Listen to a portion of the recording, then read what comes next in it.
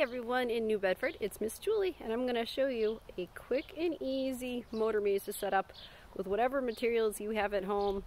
I'll talk you through it. Here we go. So here's my motor maze. Did it in a small contained area. Yeah, I've got some pool noodles. I've got some balls to throw and I had some chalk so that's what I started with.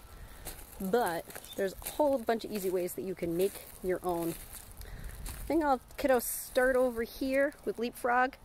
You can tell I really like to doodle, so I made them actual lily pads, jumping from side to side across the lily pads. Now, the one that I've been using at my school a lot is the high five.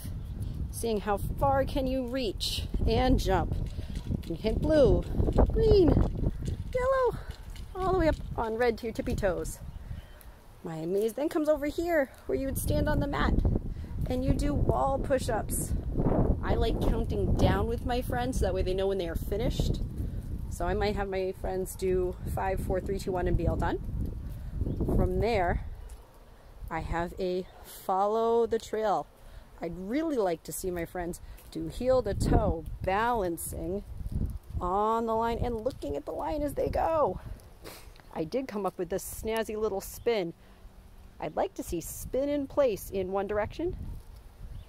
And then as you keep going on the maze, spin in place one time in the other direction. Following the maze along, we come to hopscotch. I've done hopscotches a couple different ways. This one using one foot and then two feet. I've made a big long rectangle and drawn where feet go inside the box and then outside the box for our kids who have a harder times jumping on one foot. That way they can stay on two feet. But you would jump your way through here. Decided to follow, continue doing that balance beam, following along. Have a ball and just practicing catching and bouncing. And then coming over here to the pool noodles. This could be anything, logs, cracks. What can you claim over?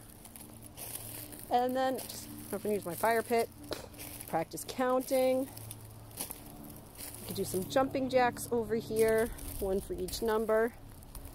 Now this one, I like these are last year's pinwheels, but having kids crouch down, taking a deep breath in, and then blowing the pinwheels.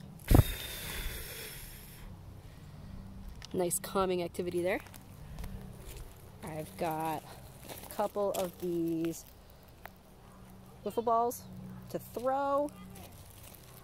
I hope this doesn't collapse under the weight of my kids. Working on climbing over. And then over to here with a little writing activity. I've got, for my kiddos who are younger, working on tall line down, sleepy line across, circle stroke around, you can add to it the crisscross, leaning line down, or letters and numbers for our friends who are ready for that too. And that right there, my friends, is Miss Julie's side yard motor maze.